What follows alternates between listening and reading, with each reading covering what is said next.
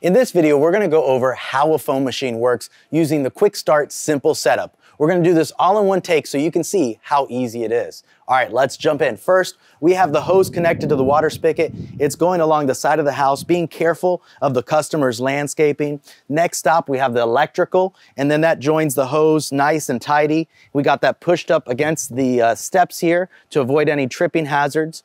It's going along their, their house right here. And as you can see, the electric is connected with the little safety uh, portal right there. All right. It's gonna go all the way over here to our quick start simple setup. First, let's go over what the hose is doing. The hose is going right into the, the 45 gallon water container. And the only purpose of this hose is to fill up this water container with about 40 gallons of water, okay? Next, let's go over the electric. The electric is going into this remote control surge protector, okay? We have the foam cannon right here connected. And then next we have the sub pump, the submersible pump, uh, and that's into the water right here. So I'm gonna pull that out and show you. It's in this nice mesh bag, which helps protect it from grass. We'll open it up right here so you can see the connections. And there you have it. So this is gonna power the sub pump and this hose is connected to the cannon. All right, let me go ahead and zip this back up.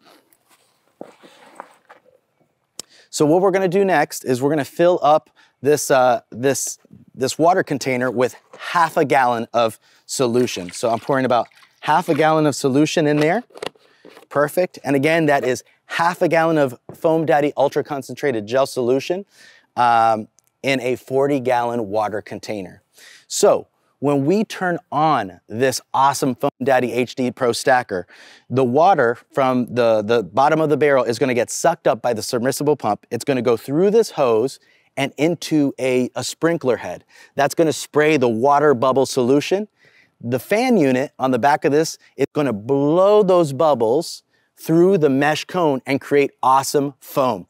And that's, that's, that's how a foam machine works. So let's go ahead and get this party started.